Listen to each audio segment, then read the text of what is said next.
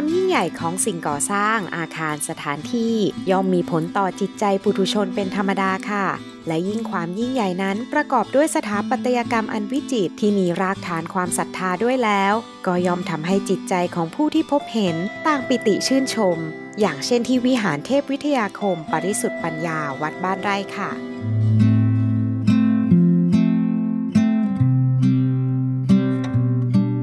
สิ่งก่อสร้างในบริเวณวิหารเทพวิทยาคม ปริสุทธิ์ปัญญาวัดบ้านไร่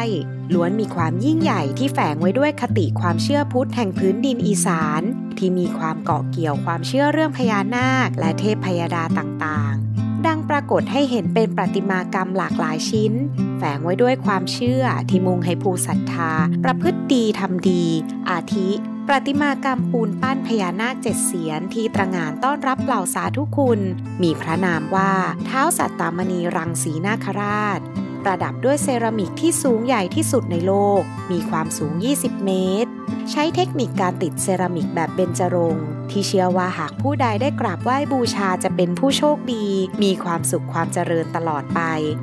และเมื่อเข้าสู่บริเวณที่เรียกว่าลานอธิษฐานก่อนเข้าสู่วิหารเทพวิทยาคม เบื้องหน้าพญานาค 19 เสียน 2 ตน รวมเป็น 38 เสียน ที่มีความหมายเท่ากับมงคลชีวิต 38 ประการ ทอดลำตัวโอบล้อมยกวิหารหรือยกพระวินัยและพระธรรมของพระพุทธเจ้า ขึ้นพ้นจากฝั่งโลกียภพ และข้ามบึงน้ำแห่งวัฏฏะสงสาร โดยส่วนหางจะไปบรรจบและพันกันเป็นเกลียวสามเกลียว ซึ่งเปรียบเป็นศีล สมาธิปัญญา ที่โอบอุ้มดวงแก้วสารพัดนึกเอาไว้ที่ด้านหลังวิหารค่ะความศรัทธาในศาสนากับการสร้างสารรค์งานศิลปะนั้น นับว่ามีความเป็นสากลที่มนุษย์ทุกชาติ ต่างมีแรงบันดาลใจในการถวายตนรับใช้ศาสนาผ่านงานศิลปะ จึงทำให้ผู้ที่มาเที่ยวงาน Thailand b e n e l e โคราช2021 ที่จะเกิดขึ้นในปี